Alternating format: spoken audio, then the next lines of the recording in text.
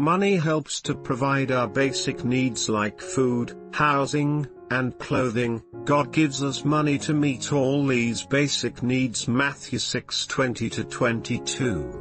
Money helps us to make the right decision according to the will of God, because we already understand the purpose of why we need money.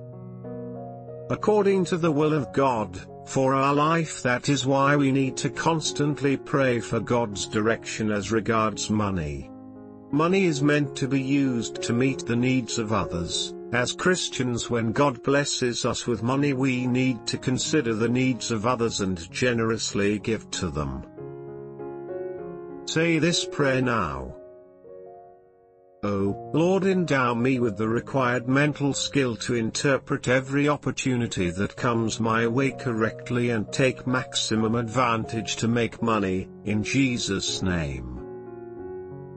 Whenever the needies need my help my purse will not be empty. I will be readily available to meet their needs, in Jesus' name. I shall not only be great in wealth but also have a great name, in Jesus' name. Let the prophetic power that operated in the valley of dry bones reunite me with my lost money, in Jesus' name. Every carnal attitude of disobedience and demonic spirits that are promoting barrenness in my financial life are terminated today, in Jesus' name. Today marks the beginning of my financial money wealth, in Jesus' name.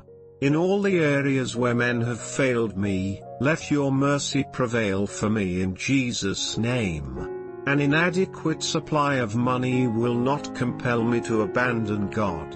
An excess supply of money will not deceive me to disconnect from God in Jesus' name. My pocket will never run dry of money from today, in Jesus' name.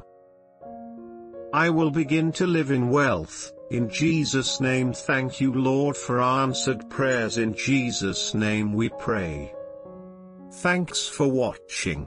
Please like, comment, share, and subscribe to our channel, God Quotes Us.